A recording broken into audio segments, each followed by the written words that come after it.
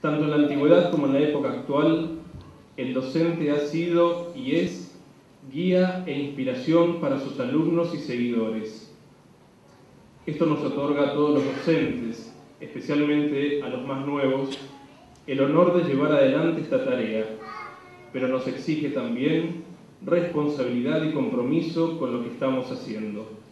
Como balance de estos 25 años, me permito afirmar que ser docente de esta casa es un privilegio, ya que la universidad y nosotros, sus profesores, tenemos objetivos comunes, tales como los que siempre recuerda y nos recuerda el doctor Porto. No solo debemos formar profesionales de excelencia, sino también, y aquí me identifico plenamente con el pensamiento del doctor, colaborar al máximo para que nuestros estudiantes y graduados sean personas íntegras, agradecidas y ciudadanos comprometidos con su país. Esta casa, esta universidad, que este año cumple 48 dinámicos años, ha albergado y alentado los esfuerzos de todos los docentes que estamos hoy aquí.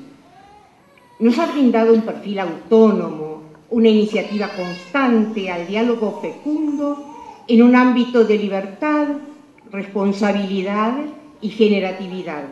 Pareciera que nuestra sociedad cree que no hay maestros. Son maestros aquellas personas que tienen popularidad o que se destacan algunas veces por virtudes que no son precisamente la de los mejores ejemplos. Pero nosotros tenemos una obligación ineludible ante nuestros alumnos, nuestros graduados, las familias de quienes vienen a esta casa en resaltar que lo más importante para una institución, sin ninguna duda, son sus maestros, sus profesores. Alguien me recordó, no se olvide de los graduados, sin duda, porque muchos de esos graduados están aquí sentados. Muchos de esos graduados dieron un testimonio y un ejemplo de querer ser maestros.